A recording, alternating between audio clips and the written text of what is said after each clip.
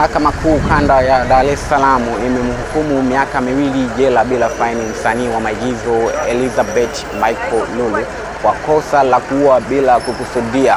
Anadaiwa kumuua anadaiwa kumuua msanii mwenzake Steven Kanumba bila kusudia, bila kukusudia.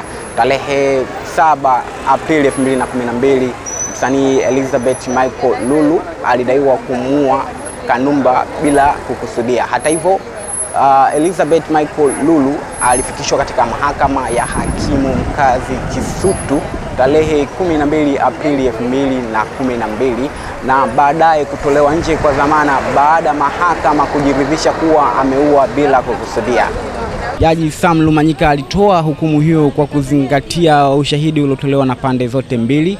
Uh, ushahidi wa upande wa jamhuri walileta mashahidi wanne na ushahidi wa upande wa utetezi alijitetea mwenyewe Elizabeth Michael Lulu na uh, shahidi wa pili ambaye ni Mush, Jacqueline Mushumbuzi ambaye ni daktari aliyefanya check up ya mwili wa uh, Kanumba kabla enzi za uhai wake, lakini uh, shaka, alitilia shaka ushahidi huo kutokana na kwamba hauna hadhi ya, uh, ya kihospitali. ki lakini pia Jaji Samlum, sa, Jaji Samlum Manyika amesema kuwa pamoja na kwamba mtuhumiwa alitiwa alikamatwa ali, ali, ali, ali, ali akiwa na umri wa miaka 17 2012, lakini pia enzi ambapo kipindi ambacho anafanya kosa hilo akiwa na umri huo ha, ilitia shaka kidogo utoto o, wa Lulu kutokana na kushiriki mapenzi katika umri huo, kuwa kama mke wa mtu, lakini pia kutoka usiku Uh, nyumbani kwao bila bila idhini ya mamake, lakini kutoka katika sehemu mbalimbali za starehe.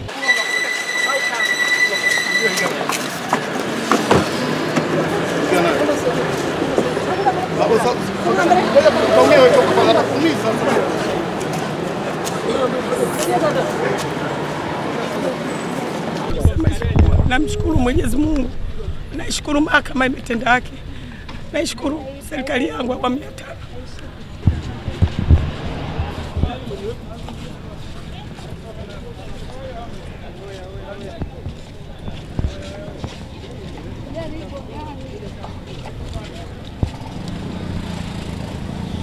Mimi ni Fati Sosi wa Mwanahalisi TV.